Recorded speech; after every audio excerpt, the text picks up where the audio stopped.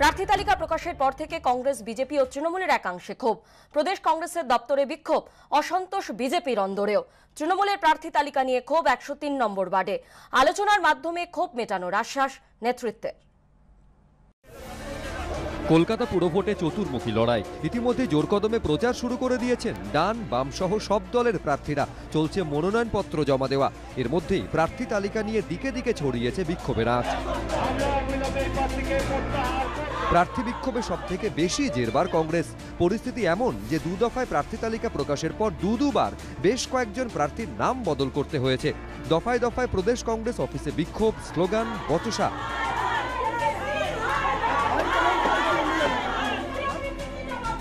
বাদ যায়নি কিছুই। খোদ কংগ্রেস নেত্রী নাগমা ইয়াসমিন আবার প্রার্থী হতে না পেরে ভোটার লিস্ট পুড়িয়ে বিক্ষোভ দেখান। তৃণমূলের মধ্যে অসন্তোষ আছে, সেটা প্রকাশ করে না, কারণ দিদি চাবুক মারবে। আমরা তো চাবুক মারা রাজনীতি করি না, তাই আমাদের কাছে অসন্তোষটা প্রকাশ করা যায়। কিন্তু একটা জিনিস স্পষ্ট হচ্ছে, যে কংগ্রেসের টিকিট নেওয়ার জন্য প্রতিযোগিতা আছে, এটার মানে কংগ্রেসের শ্রীবৃদ্ধি হচ্ছে। প্রার্থী বিক্ষোভ বিজেপিতেও ছিয়াশি নম্বর ওয়ার্ডের বিজেপি প্রার্থী করা হয় রাজশ্রী লাহিড়িকে। এই ওয়ার্ডে বিজেপি কাউন্সিলর ছিলেন তিস্তা দাস বিশ্বাস। সম্প্রতি পথ দুর্ঘটনায় মৃত্যু হয় তার। মঙ্গলবার এই ওয়ার্ড থেকে নির্দল হিসেবে মনোনয়নপত্র জমা দিলেন তিস্তার স্বামী গৌরব বিশ্বাস। প্রার্থী না করায় বিজেপির প্রোটোকল সেলের ইনচার্জের পদ থেকে ইস্তফা দিয়েছেন চন্দ্রশেখর বসোটিয়া দল ছাড়ারও হুঁশিয়ারি দিয়েছেন তিনি। আমাদের ওজিএস অমিতাভ দাকে আমি চিঠি দিয়েছি। আমার পদত্যাগে তার দেখেই উনি আজকে আমাকে ডেকেও ছিলেন। কথা হয়েছে, আর আমি বলেছি, যদি আমি সদুত্তর বা ন্যায় না পাই, তাহলে আগামী দিনে আমিও দেখব মানুষের কাজে করতে গেলে কোন প্ল্যাটফর্মটা ভালো আছে, সেই প্ল্যাটফর্মটা হাঁটবো। প্রার্থী হওয়ার ইচ্ছে কার না করে? সবারই ইচ্ছে করবে, স্বাভাবিকভাবে যিনি টিকিট তো একজনই পাবেন সবাই পাবেন না। তো স্বাভাবিকভাবে যারা টিকিট পাননি, তারা হয়তো মনে দুঃখ পেয়েছেন। পার্টি তাদের সাথে কথা বলবে, তাদেরকে তারা পার্টিরই কর্মী। পার্টির সমর্থক অনেকে হয়তো যোগ্যও ছিলেন পাননি অনেকে কোনো কারণে। তো পার্টি আগামী দিনে তাদেরকে বড় সু- জায়গায় সুযোগ দেবে। একশো তিন নম্বর ওয়ার্ডে তৃণমূলের প্রার্থী অসন্তোষের আঁচও রাস্তায় এসে পড়েছে। রাস্তায় বসে বিক্ষোভ দেখান তৃণমূল কর্মীদের একাংশ। এদিকে দুবারের কাউন্সিলর তথা কলকাতা পুরসভার প্রাক্তন চেয়ারম্যান সচ্চিদানন্দ বন্দ্যোপাধ্যায়কে এবার দল আর টিকিট না দেওয়ায় বাহাত্তর নম্বর ওয়ার্ডের নির্দল প্রার্থী হিসাবে সোমবার মনোনয়ন জমা দেন তিনি। একশো চুয়াল্লিশটা ওয়ার্ড ইচ্ছা কারুর থাকতেই পারে। কিন্তু প্রার্থী তো একজনই হবে। একশো চুয়াল্লিশ জনই হবে, একশো পঁয়তাল্লিশ জন তো হবে না। একটা ওয়ার্ডে তো দুজনে প্রার্থী হবে না। এদিকে পুরো ভোটের মুখে ফের বিজেপির অস্বস্তি বাড়িয়েছেন দলের প্রাক্তন রাজ্য সভাপতি তথাগত রায়। মঙ্গলবার পরপর দুটি টুইট করেন তিনি। টুইটে প্রথমেই তিনি লিখেছেন, একজন একনিষ্ঠ বিজেপি সমর্থকের কাছ থেকে পাওয়া। তারপর সেই টুইটে লেখা রয়েছে স্যার, আপনি আমার কথায় বিশ্বাস করবেন কিনা জানি না। আমাদের এখানে, আমাদের পাশের গ্রামে একজন আমাকে বলছিল দু হাজার একুশের বিধানসভা ভোটের আগে পিকের টিম থেকে অনেকেই ফোন করছিল। আমাদের এখানকার একজন শিক্ষিত যুবককে ফোন করেছিল। প্রথম টুইটে রেশ টেনে দ্বিতীয় টুইটে তিনি বলেন, তাকে ফোন করে বলছিল তেরো হাজার টাকা করে মাইনে দেবে, বিজেপিতে যোগ দিয়ে তৃণমূলের হয়ে কাজ করার জন্য। তাই আমার মনে হয়, বিজেপিতে এখনও নিচুতলায় এরকম অনেক পিকের মাইনে দেওয়া কর্মী আছে। যতদিন না এদের চিহ্নিত করা যাবে, বিজেপিকে জেতানো অসম্ভব। অর্ণব মুখোপাধ্যায় দীপক ঘোষ রুমা পালের রিপোর্ট এবিপি আনন্দ। প্রার্থী বদলের দাবিতে প্রদেশ কংগ্রেস দপ্তরে দফায় দফায় বিক্ষোভ। চৌষট্টি ও আশি নম্বর ওয়ার্ডে প্রার্থী বদলের দাবিতে বিক্ষোভ। প্রদেশ কংগ্রেস দপ্তরের ভেতরে আত্মহত্যার হুমকি।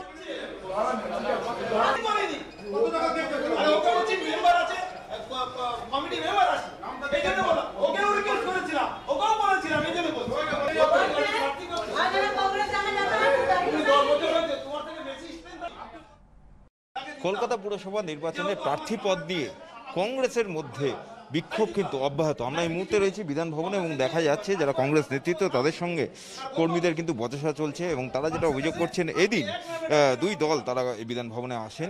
এক হচ্ছে আশি নম্বর ওয়ার্ডের কে যারা প্রার্থী পদপ্রার্থী ছিল এবং চৌষট্টি নম্বরের কর্মীরা তারা এসে বিক্ষোভ দেখান যে যেই দুজনকে এই দুটি ওয়ার্ডে প্রার্থী পদ দেওয়া হয়েছে, তারা কেউই কিন্তু দলের কর্মী নন। আশি নম্বর ওয়ার্ডের যারা কংগ্রেসের কর্মী, তাদের বক্তব্য যে ওই ওয়ার্ডে যাকে প্রার্থী পদ দেওয়া হয়েছে তিনি সদ্য তৃণমূল থেকে এসে কংগ্রেসে যোগদান করেছেন।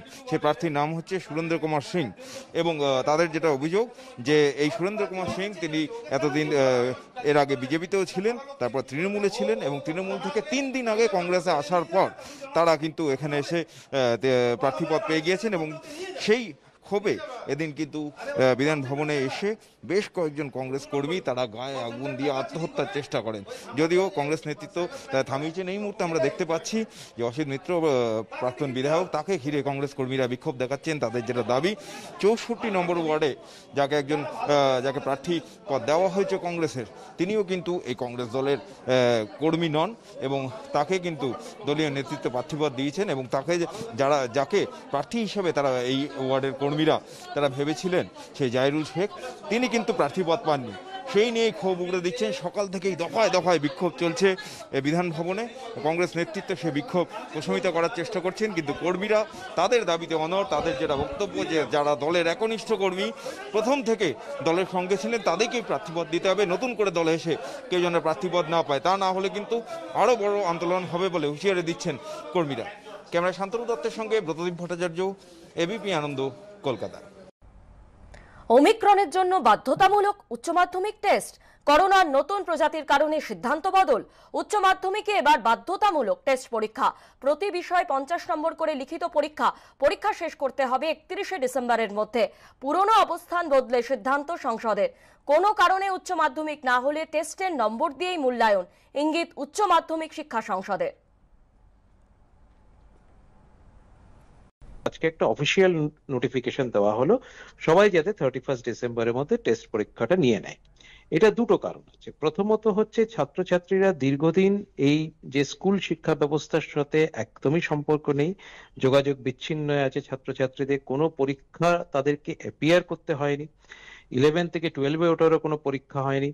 ফলে ছাত্রছাত্রীরা সেই মাধ্যমিক পরীক্ষা দিয়েছিল, তারপর থেকে কিন্তু পরীক্ষার সাথে কোনো সম্পর্ক নেই। একদম সরাসরি তাহলে সেক্ষেত্রে ছাত্রছাত্রীরা সেকেন্ড এপ্রিল থেকে যে উচ্চ মাধ্যমিক পরীক্ষা শুরু হচ্ছে, তখনই তারা সেই পরীক্ষাতে বসতো। সেটাকে অ্যাভয়েড করার জন্য অন্তত একটা প্র্যাকটিস সেশন হিসেবে একটা আমার মনে হয় যে অন্তত একটা টেস্ট থাকা উচিত। দু নম্বর কারণ হচ্ছে যে রিসেন্টলি আপনারা জানেন যে গোটা বিশ্ব জুড়েই এখন তো মানে একটা করোনা ভাইরাসের নতুন যেটা ভ্যারিয়েন্টস যেটা একটা মিউটেটেড ফর্ম যেটা অমিক্রন বলা হচ্ছে, সেটা অনেক জায়গাতেই একটা কিছুটা হলেও সামান্য আতঙ্ক ছড়িয়েছে। আবার যদি কোনো করোনার মানে প্রভাব বাড়ে লকডাউনের মতো সিচুয়েশন হলো বা কোনো বিশেষ কারণে এইচএস পরীক্ষা ক্যান্সেল করতে হলো, তখন আমাদের কাছে কিন্তু কোনো মার্কসই থাকবে না ইভালুয়েশন করার। তো সেক্ষেত্রে এই টেস্ট পরীক্ষা একটা ডেফিনেটলি একটা ইভালুয়েশনের মাধ্যম হতে পারে। বিশ্বজুড়ে ক্রমেই ছড়িয়ে পড়ছে করোনার নতুন প্রজাতি ওমিক্রন। এই পরিস্থিতিতে ছত্রিশটি দেশে করোনা ভ্যাকসিনের বুস্টার ডোজ দেওয়া শুরু হলেও ভারতে তা শুরু হয়নি। দু সপ্তাহের মধ্যে এই নিয়ে নীতি ঘোষণা করা হবে বলে জানানো হয়েছে। কেন্দ্রীয় সরকারের টাস্ক ফোর্সের তরফে। এ যেন যেতে গিয়েও না যাওয়া। ভারতে যখন করোনা পরিস্থিতি কিছুটা নিয়ন্ত্রণে, তখন বিশ্বজুড়ে নতুন করে আতঙ্ক হয়ে দেখা দিয়েছে করোনা নতুন প্রজাতি ওমিক্রন। ডেল্টার থেকেও যা শক্তিশালী বলে মনে করছেন বিশেষজ্ঞদের একাংশ। এর থেকে রেহাই পেতে গেলে কি করোনার ভ্যাকসিনের তৃতীয় অর্থাৎ বুস্টার ডোজ প্রয়োজন? সেটাই এখন বড় প্রশ্ন হয়ে দাঁড়িয়েছে। সেপ্টেম্বর থেকে আমেরিকা সহ ছত্রিশটি দেশে করোনা ভ্যাকসিনের বুস্টার ডোজ দেওয়া শুরু হয়েছে। কিন্তু ভারতে কি বুস্টার ডোজ দেওয়া শুরু হবে?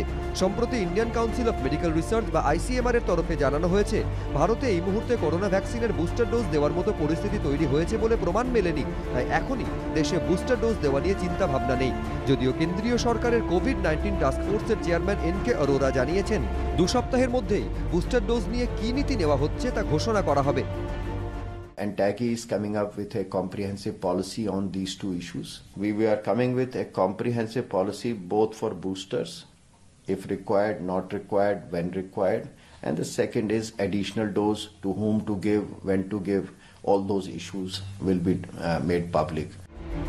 প্রাপ্তবয়স্ক জনসংখ্যার নিরিখে এখনও পর্যন্ত ভারতে ভ্যাকসিনের দুটি ডোজ পেয়েছে মাত্র আটচল্লিশ শতাংশ নাগরিক। সেক্ষেত্রে ওমিক্রন বিশ্বজুড়ে উদ্বেগ তৈরি করলেও ভারতে ভ্যাকসিনের তৃতীয় ডোজ দেওয়া এখন কার্যত অসম্ভব বলেই মনে করছেন বিশেষজ্ঞদের একাংশ।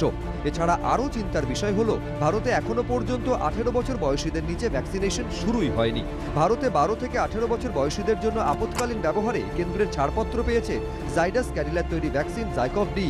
কেন্দ্রের তরফে ইতিমধ্যেই প্রস্তুতকারক সংস্থাকে এক কোটি ডোজের বরাদ দেওয়া হয়েছে কিন্তু জাইডাস ক্যাডিলার তৈরি এই ভ্যাকসিন বাজারে কবে আসবে তা নিয়ে কেন্দ্রের তরফে কোনো তথ্য দেওয়া হয়নি তবে সূত্রের খবর ডিসেম্বরে বা সামনের বছরে জানুয়ারি মাসে এই ভ্যাকসিন আসতে পারে As I have repeatedly been saying, children are our most important asset. And uh, we have developed a comprehensive plan for immunizing our 44 crore children below the age of 18 years. Zyco-VD is there, Covaxin is there, Corvavax is there, Covavax is there. So, and then mRNA vaccine would also be available. So we have four or five vaccines for children, mm-hmm. and um, so and again vaccines will be available in sufficient quantity for children also. করোনার Omicron variant নিয়ে আশঙ্কার মধ্যেই ভ্যাকসিনেশনের গতি বাড়ানোর পরামর্শ দিয়েছে বিশ্ব স্বাস্থ্য সংস্থা ঝিলম করঞ্জাই সন্দীপ সরকার এবিপি আনন্দ শিল্প বিনিয়োগ টানতে কলকাতায় জম্মু কাশ্মীরের লেফটেন্যান্ট গভর্নর। আজ বঙ্গের শিল্পপতিদের সঙ্গে করলেন বৈঠক। পাশাপাশি ভূস্বর্গে বিনিয়োগ করলে কি কি ছাড় বা সুবিধা মিলবে তারও রূপরেখা তুলে ধরেন সেখানকার আমলারা। জম্মু কাশ্মীর থেকে তিনশো সত্তর ধারা প্রত্যাহার করে কেন্দ্রশাসিত অঞ্চল করা হয়েছে, দু বছরেরও বেশি সময় হয়ে গিয়েছে। জমি কেনা থেকে শিল্প স্থাপন, এখন দেশের আর পাঁচটা রাজ্যের মতোই সহজ হয়ে গিয়েছে ভূস্বর্গেও। এই প্রেক্ষাপটে এবার সেখানে বিনিয়োগ টানতে উদ্যোগী হল জম্মু কাশ্মীর প্রশাসন। তারই অংশ হিসেবে মঙ্গলবার কলকাতায় হয়ে গেল একদিনের ইন্ডাস্ট্রি ইন্টারাকশন কলকাতার এক পাঁচতারা হোটেলে এদিন বাংলার শিল্পপতিদের সঙ্গে দেখা করেন জম্মু কাশ্মীরের লেফটেন্যান্ট গভর্নর মনোজ সিনহা ভূস্বর্গে বাংলার শিল্পপতিদের বিনিয়োগে আমন্ত্রণও জানান তিনি কিন্তু ভূস্বর্গে শিল্প টানতে বাংলায় কেন यहाँ बहुत ही मैं मानता हूं कि इंडस्ट्री में उत्साह है जिस तरह की इंडस्ट्रियल स्कीम भारत सरकार और जम्मू कश्मीर के इंडस्ट्री डिपार्टमेंट ने मिलकर के बनाई है मैं कह सकता हूं कि देश के किसी राज्य से बेहतर इंसेंटिव हम दे रहे हैं শুধু বিনিয়োগের আহ্বান নয় ভূস্বর্গে বিনিয়োগ করলে কি কি ছাড় বা সুবিধা পাওয়া যাবে সেই রূপরেখাও এদিন শিল্পপতিদের সামনে তুলে ধরেন সেখানকার আমলাদের একাংশ that most people were not very aware of the developments and incentives that we had offered. Of course, it's a part of the country and has been a major investment center in some ways, and a lot of big big business center is out here. So we reached out. It's a reach out and an invite to come and see JNK for themselves. इस time पे जो हम करने की कोशिश कर रहे हैं that is the outside in we want people to come and invest in J तो आज का जो प्रोग्राम था वो था कि बताना कि हम लोगों ने इंडस्ट्री से पॉलिसी का कैसे स्टेबल क्लाइमेट बनाया हुआ है what are the initiatives that the government of J is doing confederation of Indian industry বা সিআইআই এর উদ্যোগে হয় এদিনের অনুষ্ঠান সঞ্চয়ন মিত্রের রিপোর্ট এবিপি আনন্দ কলকাতা